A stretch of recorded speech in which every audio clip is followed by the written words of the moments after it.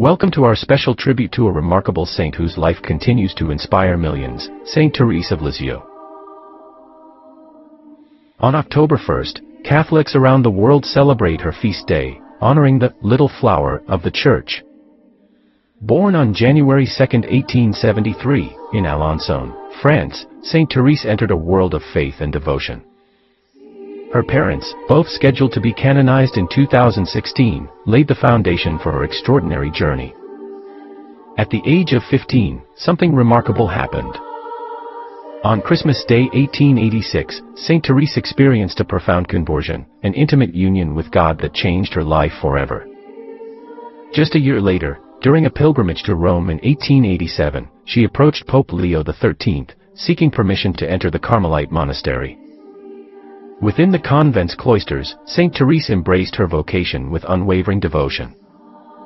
Her little way was marked by love, trust, and selflessness. St. Therese believed in doing small, everyday acts with great love, even when faced with challenges. These acts deepened her understanding of her divine calling. Despite being in a quiet cloister in France, St. Therese had lofty dreams of being a missionary, an apostle, and even a martyr but she found her true vocation in love.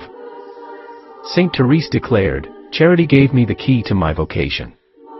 She realized that love was at the heart of all vocations, timeless and eternal.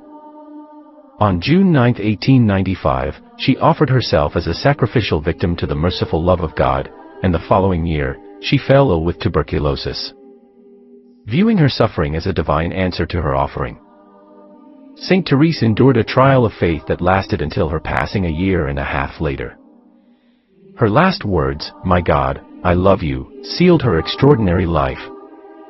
Since her death, millions have been inspired by her little way of loving God and neighbor. Her intercession has led to countless miracles.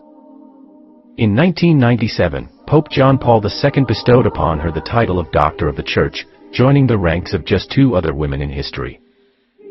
St. Therese wisdom reminds us that it's not the greatness or difficulty of our actions that matter to God, but the love with which we do them.